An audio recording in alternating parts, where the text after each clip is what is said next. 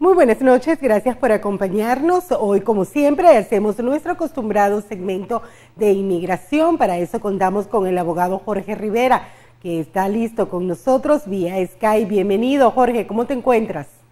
Muy bien, aquí entusiasmado de estar con ustedes, con las últimas noticias de inmigración, como siempre, para ayudar a nuestra gente.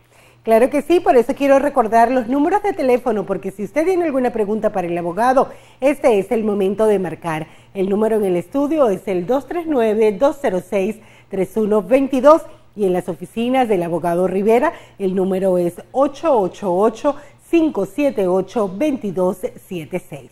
Jorge, tenemos novedades en relación a los formularios para la solicitud de ciudadanía. Cuéntanos. Pues sí, fíjate que han cambiado el número de páginas. Eh, en el formulario anteriormente eran 10 páginas, ahora son 21 páginas, o sea, el doble del tamaño y, hay más preguntas para ver si es que las personas van a calificar o si inmigración los va a descalificar por diferentes razones. Entiendo que esto va a ser el proceso un poco más complicado, tal vez va a ser más difícil entonces ser aprobado por el Servicio de Inmigración para la Ciudadanía. Fíjate que el proceso sigue igual. O sea, las personas tienen que someter su solicitud, la N400, el, el costo son de 680 dólares, viene la cita las huellas y la entrevista en menos de seis meses eh, con el, el, examen de historia y gobierno y si pasan, luego la juramentación. Lo que inmigración quiere hacer con este, estos cambios es ver si encuentran razones para negar los casos. O sea, yo lo he estado leyendo y, y hay más oportunidades para que inmigración lo niegue basado en las respuestas de nuestra gente y hay algunas preguntas bastante delicadas. ¿Cuáles son estas preguntas, Jorge, que pueden representar un peligro para que la ciudadanía sea negada? Pues la más peligrosa, digámoslo así, es una pregunta que le hacen a las personas y le dicen, mira, ¿usted ha cometido algún delito por el cual nunca ha sido arrestado? Y el problema con esto es que si alguien vaya, por ejemplo, manejó bajo la influencia el año pasado, inmigración nunca, o la policía nunca lo arrestó, inmigración quieren que uno se confiese y que se lo diga. Eh, igual el joven que fumó marihuana en su casa y que la policía nunca lo arrestó, según inmigración, ellos quieren que uno se lo diga y, y le pueden negar el caso. Ahora, por otros cargos que no son criminales, sino más bien civiles, y las personas debieron ir delante de un juez por cualquier motivo, ¿esto también cuenta? No, eh, cargos civiles como violaciones de tráfico o cosas así no cuentan. Y el problema, Fiorel, es que preguntarle a personas si han cometido cosas por las cuales no han sido arrestadas es una violación a la quinta enmienda de la Constitución. O sea, le están pidiendo a las personas que se incriminen ellos mismos. Y hay un derecho constitucional contra eso. Sin embargo, imagínate, inmigración está haciendo la pregunta como que para que las personas caigan en la trampa y hay muchas personas que caen. Y entonces, ¿cuál debería ser la respuesta en este caso con esta pregunta específica? Bueno, mira, específicamente, eh, si alguien ha cometido algo en el pasado, sabemos, mira, uno tiene el derecho, hablando como se dice en la calle, de no ponerse la soga al cuello, de no incriminarse.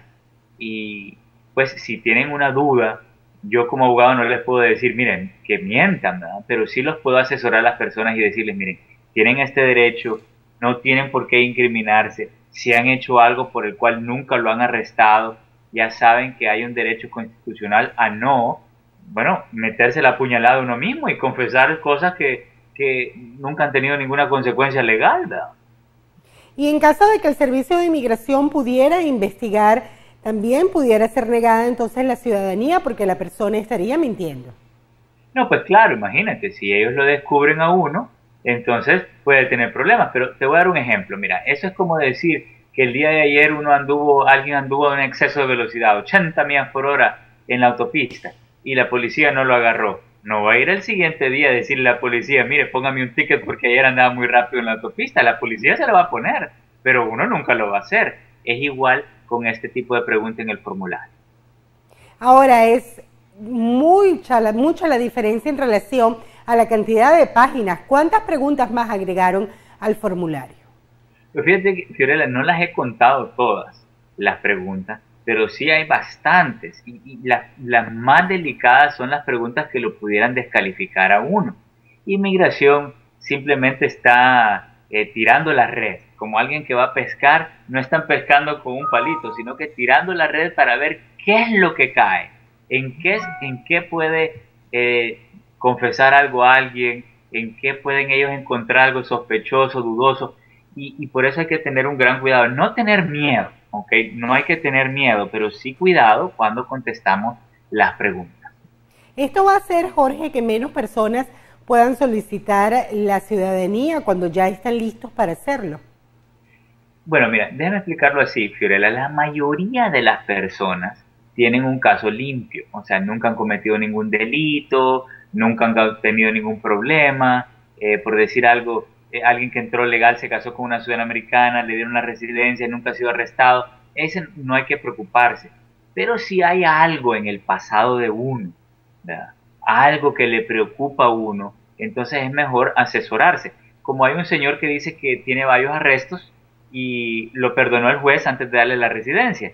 Lo asesoramos y le dimos, mira, si usted no ha cometido ningún otro delito y el juez de inmigración lo perdonó por todos sus antecedentes, entonces no tenga miedo, adelante. Rápidamente para finalizar, Jorge, ¿hubo un incremento en el costo del formulario?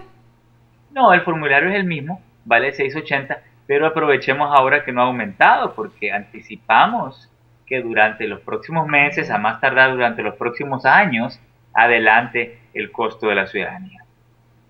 Gracias Jorge, quiero invitarte a que te quedes con nosotros en la próxima parte para dar respuesta a las personas que están llamando a nuestro estudio a través del 239-206-3122